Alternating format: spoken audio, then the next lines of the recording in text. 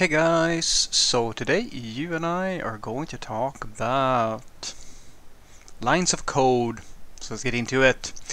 So the question in question was, Fredrik, I wrote a program that could be written in just a few lines, but and I did it in a lot more lines.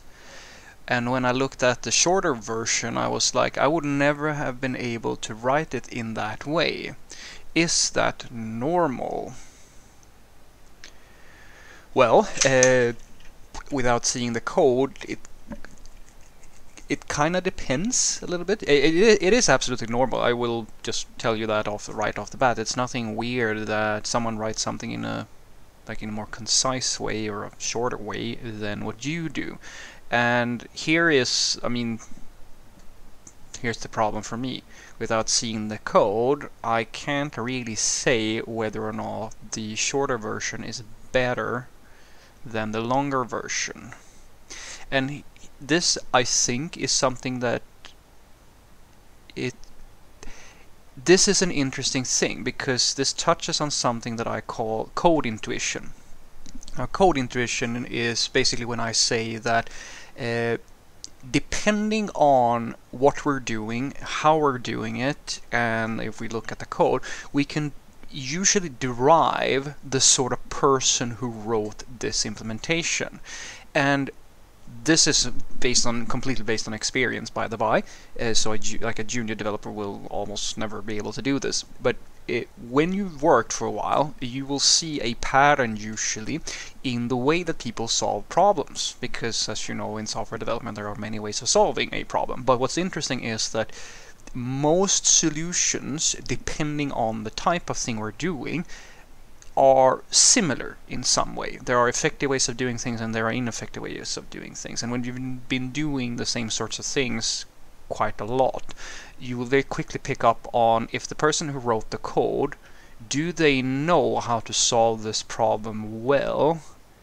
Or do like are they confused about how to do it? Like are they like basically are they writing ineffective code or are they simply writing readable code?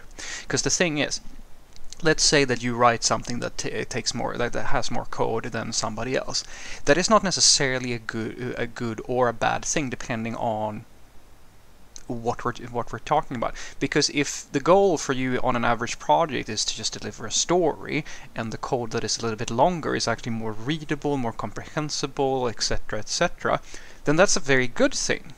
In many cases of course it's in many cases it's a very good thing.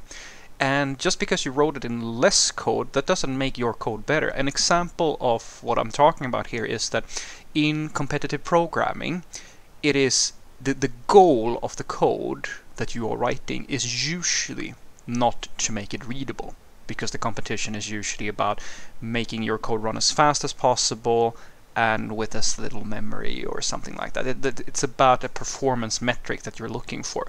And to get that performance metric, it's usually about trying to figure out the most clever or optimal way of doing something. But in order for you to do that in many cases, you will have to write some pretty arcane stuff.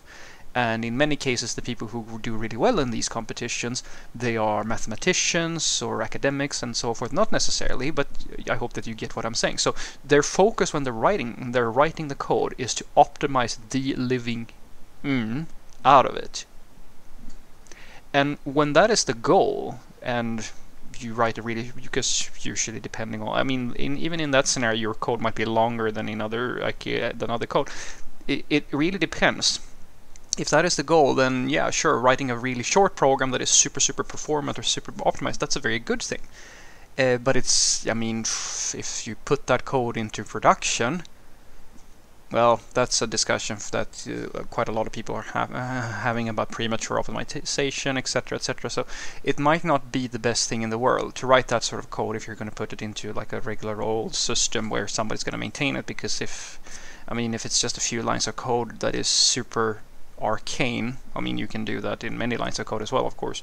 But if the code is uncomprehensible to other people, it really is tricky I, I think so at the very least. It's hard to say which is the right path here. You kind of just have to you, you kind of have to discuss it with your coworkers, and if there's in this, in my opinion, what usually happens, either they're fine with it and, or they feel like it can be simplified and as long as you don't have any specific performance metric or something like that that you need to abide by then usually the simpler longer version is the way to go so what I want you to take away from this is that there's no way for me to say whether or not if you if you write a solution in more lines of code than somebody else, whether or not that's a good or a bad thing. But I will tell you that it's very normal. If you want to take a stab at like figuring out like how you're doing in comparison to your solution versus other solutions, uh, other people's solutions. You can try and go on competitive coding sites and so forth, and like solve problems and so forth, and see, okay, this is how you did it, this is how other people did it. Because that's the thing, right? There are many ways of solving a problem, but there's also readable code, very performant code. There are so many factors that play in when we decide whether or not some piece of software is good or bad. And that's why I've been telling you many times before that uh, when someone says this is good code, it's almost impossible to say what they mean by that because it's very subjective what is good code. Nobody can really in like there's no objective way of saying that this is good or this is bad because it's extremely contextual. So what i think that you should focus more on rather than like how how much code you're using to solve the problem is to look at how well have you solved the problem if somebody has made a super implementation that is very arcane and like extremely performant, that's great for them. That's going to be a usually a very good thing in a coding competition. It's not going to be very good in, on the average project. And in that scenario, it's better to go for readability and like a a decent implementation. But if somebody is like waste, like really clearly writing code that is very unperformant or very uh, suboptimal, well, then that's a that's a different sort of problem. And you need to figure out are there better ways for you to solve these sorts of problems? And the only person who can answer which it is is you. You the person who's writing the code or whoever has access to the code and make that judgment call. Have a great day